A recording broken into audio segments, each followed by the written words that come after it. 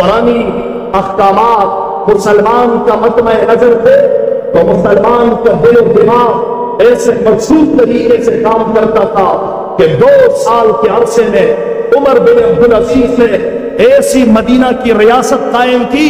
Medina की रियासत की नारे लगाने वाले, सुने, ऐसे मदीना की रियासत कायम की, ऐसी कि इतनी बड़ी मुतमदन दुनिया पे हुकूमत करने वाला बर आजमों तक फैली हुई हुकूमत थी सिर्फ़ दो साल के अरसे में पूरी रियासत में एक जक़ात लेने वाला मुसलमान बाकी नहीं बचा एक ऐसा मुसलमान नहीं था जो गुर्बत की वजह से जक़ात ले ले उमर बिन अब्दुल अब्दुल अज़ीज़ रहीमहुल्लाह ने ऐलान किया तो कि जक़ात की रकम फला फंड में खर्च की जाए।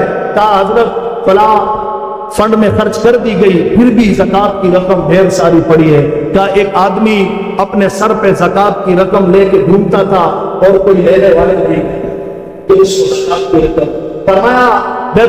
से, खजाने से जिनकी शादियाँ नहीं है, नौजवान है और उनके पास पैसे नहीं है, उनकी शादियाँ करा दो। जिनके घर नहीं है, उनको घर दे दो। जिनके पास सवारी नहीं है, उनको सवारियाँ दे दो।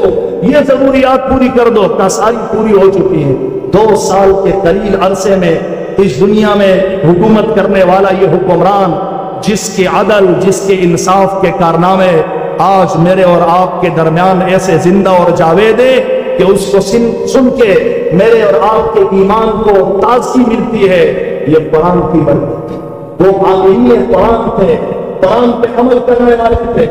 पर ऐसे कुरान पे अमल करने वाले के जालिम की बेखुनी करते थे। जालिमों को अपने इर्द गिर्द छोड़ना गवारा नहीं था। सारे गवर्नरों को मासूम कर दिया।